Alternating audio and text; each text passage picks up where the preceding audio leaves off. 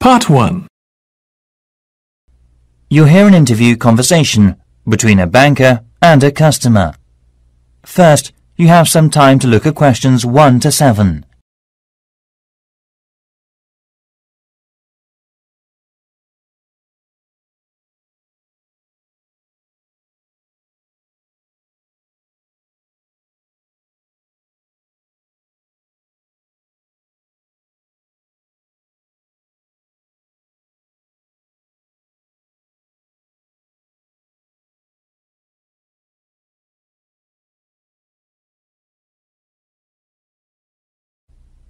Listen carefully and answer the questions 1 to 7. Hi, can I open a bank account, please? Sure, come on in. Make yourself at home. I'll just get some details for you. It won't take long. OK, right. What kind of account do you want? A deposit account. OK, I've got the application form here then. Have a look at this leaflet. We have several types. I've decided on the one called Classic. Good, that's fine. Can I have your full name, please? Yes, it's Jonathan Fox. That's J O N A T H A N. Oh, right. Thank you. And what's your date of birth, please?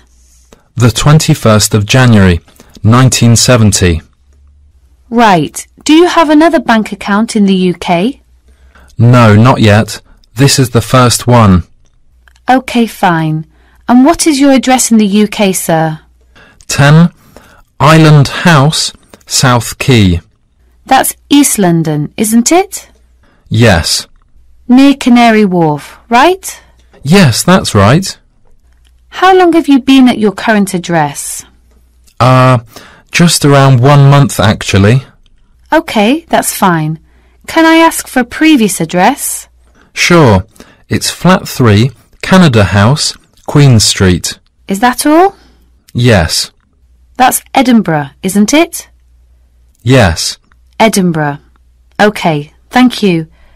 Do you have a daytime telephone or mobile phone number? Yes.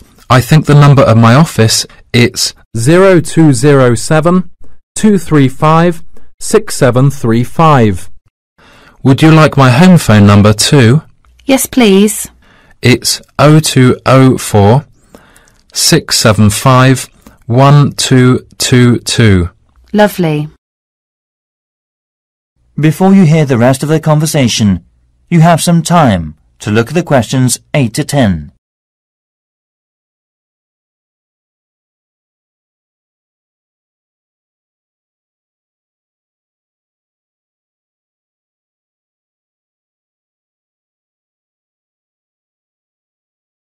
Now listen and answer questions 8 to 10. Right. What do you do for a living in the UK, sir? I am working at an English language school in central London as a tutor. It's my main job. OK. Now we usually ask for a piece of information for checking your identity, for security reasons, if you phone us. Sure. What name is your mother's first name? Because it's less likely to be known. OK, it's Monica. Thank you. Yes, M O N I C A. It's Russian. OK, good. And how much would you like to open your account with? I've only brought one thousand pounds. OK, fine. How often would you like to receive bank statements? I won't be needing bank statements. What about an online banking service? OK, just a moment, please. Can I check in the box on the screen? Sure. I was also wondering about a mortgage service. Sure. Can you just wait a moment? I'll introduce you to a mortgage marketing manager. Thank you.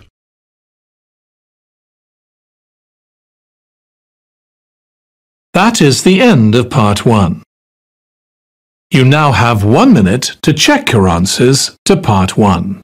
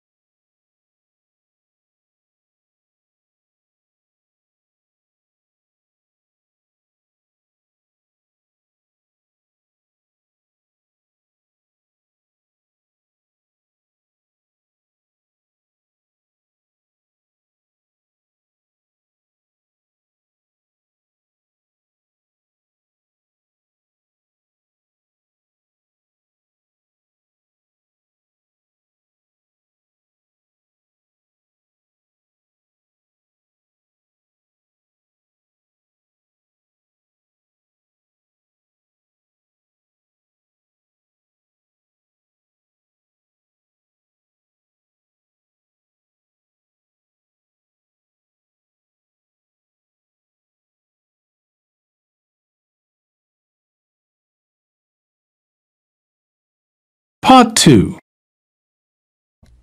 You'll hear a tourism program, The Elizabeth House. First, you have some time to look at questions 11 to 14.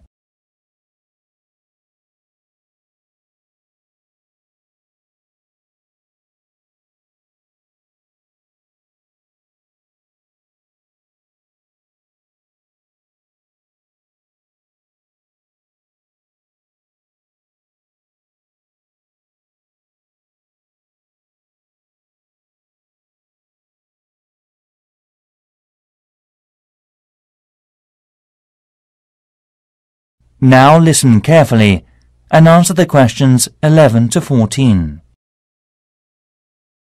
Hi everybody, good to see you again. This morning I'll tell you about the Elizabeth House in Canterbury, once home of the famous carpenter Jonathan Owen. He bought the house in 1965, although he had first seen it five years earlier. Actually, he was interested in the house as a traditional flat in England, and he paid £5,000 for it without a second thought, because of it having standard and regulation building methods during the Middle Ages in the UK. At that time, he had worked at the University of Canterbury as a head carpenter who managed with a small building company. His professional success was abundant, but his family life wasn't so successful. His parents had suffered from diabetes and mental disease, and his brother Dan was ill with pneumonia. Moving to Elizabeth House, he started his new life. Jonathan considered the home a pure example of traditional East England country house and did some of his successful building structure work here. The backyard and garden of the house became calm and peaceful. The materials used to make the wall, chimney and roof were collected from the local area. Most of all, oak trees were in the front of the main gate. Before you hear the rest of the program, you have some time to look at the questions 15 to 20.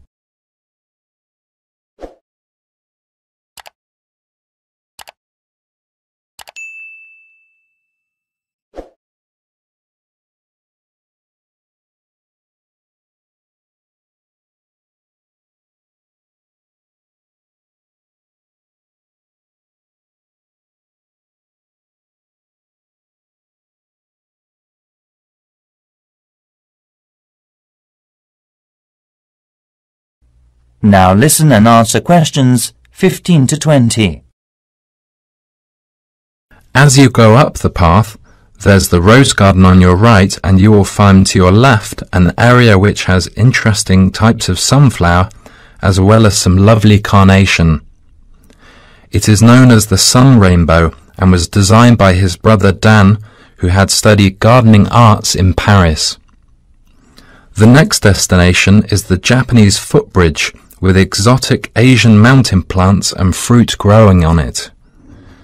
Follow the path round to the second corner and on your left you will see the entrance to the pear tree with its 200 year old branches go through the path until you've reached the front of the house. Now I'll give you a couple of hours to wander around this lovely building. Your tour guide will introduce and explain about its history and viewpoints to you. If you need to buy any of Jonathan's handbooks or other souvenirs, you can enter the house where you'll find the shop, which is located between the path and the water mill. I expect by this time you may also be in need of a rest and some refreshments from the snack bar. If you have a break, there is a lovely walk down towards the River Cotton. This is the best view for visitors. You can cross the field which spreads along the path close to the windmill. In autumn, this area will open a small event or festival which is definitely worth a visit. It is familiar a good place for growing strawberries. Every season most of the residents are ready to make local produce. Also the local council helps to improve the grape festival by promoting and marketing it through online and offline methods. Last year around 100 tons of grapes were harvested and sold at the city mall. We'll now have a good chance to see an orchard behind the house.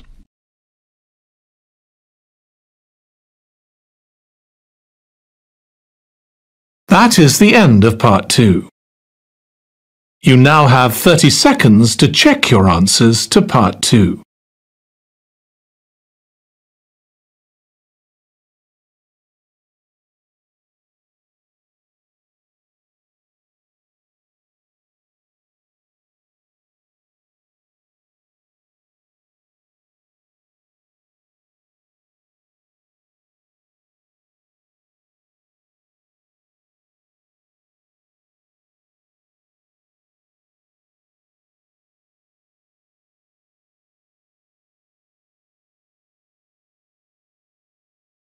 Part 3. You'll hear a conversation between students, Anne and David, about gallery marketing. First, you have some time to look at questions 21 to 24.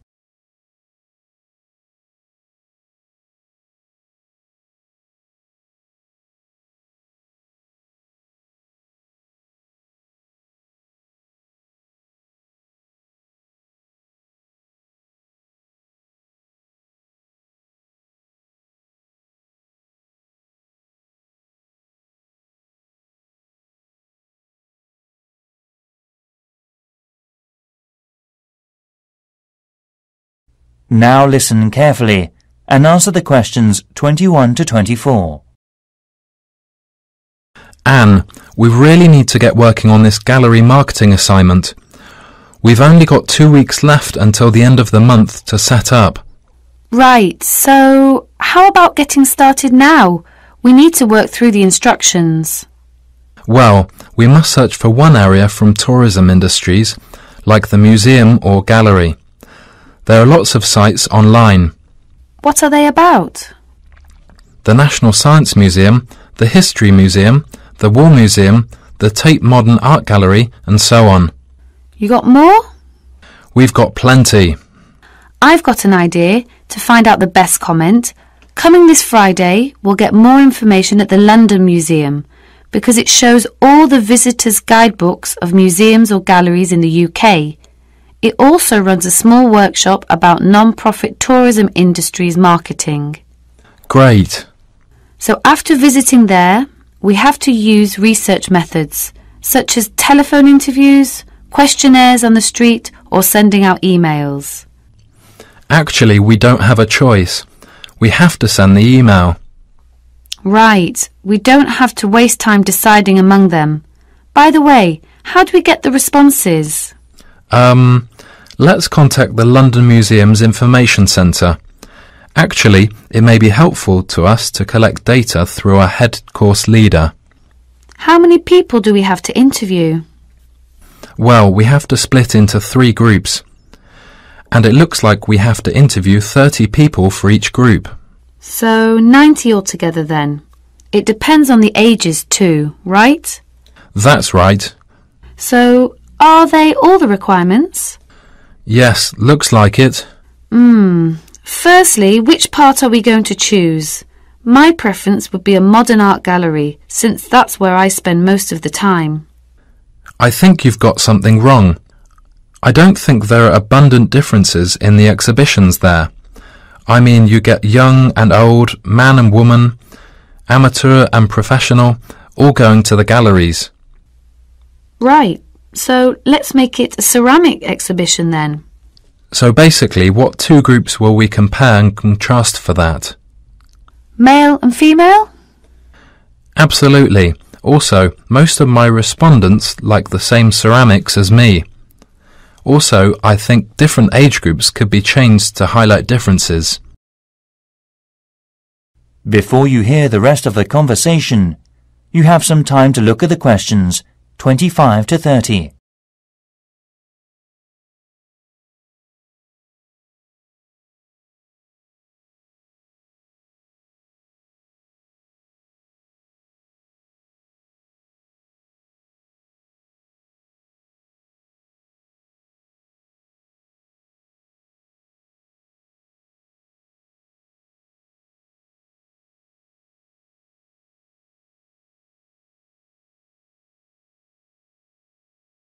Now listen and answer questions 25 to 30. I think you're right. I'll take some comment. The age groups are teenagers, 20s, 30s, 40s and over. What do you think about this? Great. That will give us more detail. So how about the kind of ceramic they like? Let's give them some options and then we can just tick boxes.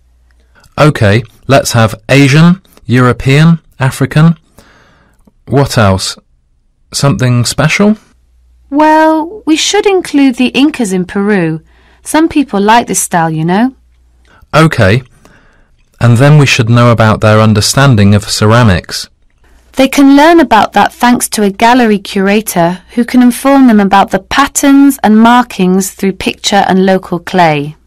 I'm curious about how they were made. I mean a process with painting and things embedded on the surface. At that time, the equipment and materials were not good, compared with the present day. I agree. We should also include an earthen vessel, of course. Right. The next step could be about where they were actually from. They were made from local clay, weren't they? Things such as mountain, lake, basement and so forth. I think so. One more thing is the colour on the bottle. How did the ancients get the tone? On the internet, it said they got it through dried plants. They were working again to make a tone, drying and sorting. OK, I see. To get more hard tone, they included other strong herbs or something. At that time, the colours were used by the rich with property. Great. You've got plenty of data, David. No, no. It's just beginning. We have to look for something special with more details and history for the presentation next week. That is the end of part three. You now have 30 seconds to check your answers to part 3.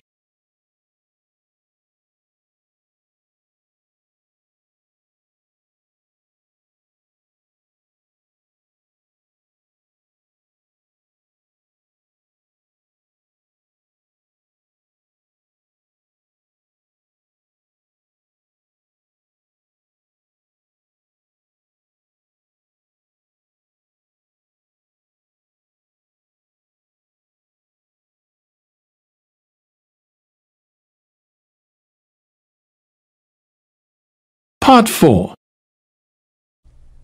You'll hear part of a lecture given by a waste recycle management's professor.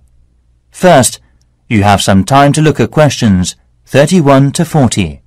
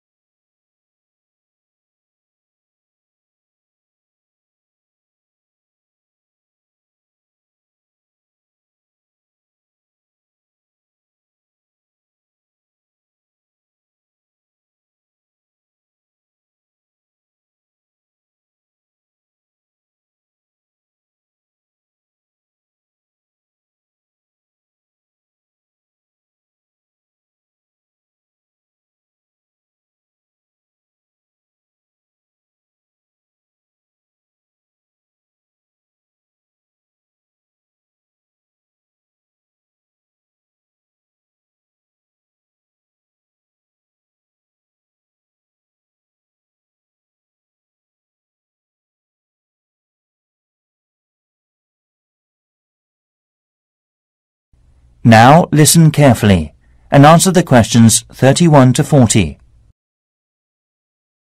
Hi everyone. This morning I'm going to talk to you about flea markets in England.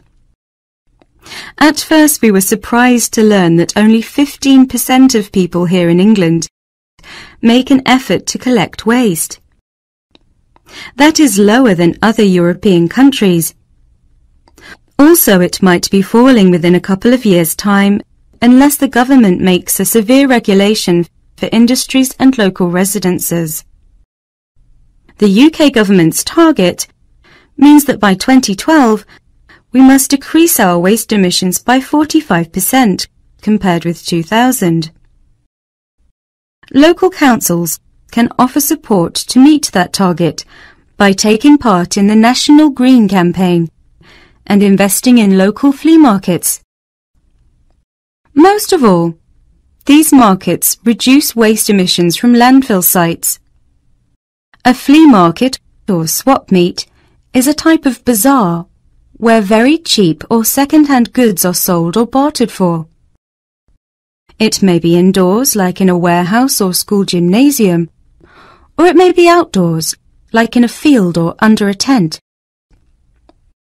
The flea market vendors display the goods used on the table for selling, such as a few unwanted household items to operate commerce, including a variety of used living products.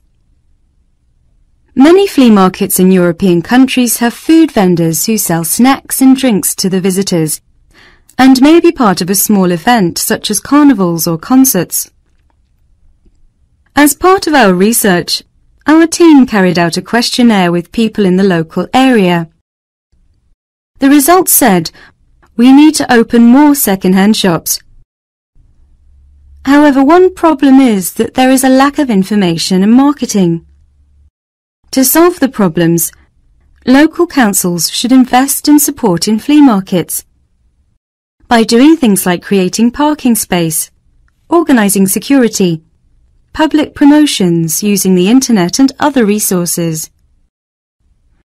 We were also surprised to discover how waste such as furniture, computers, kitchen tools, and other such things are reused.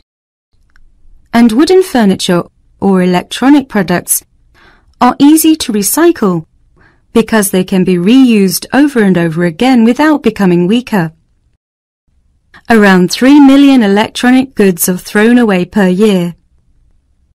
Also, around 500,000 pieces of furniture are also disposed of. Only one-fifth is collected and fortunately recycled through many local flea markets.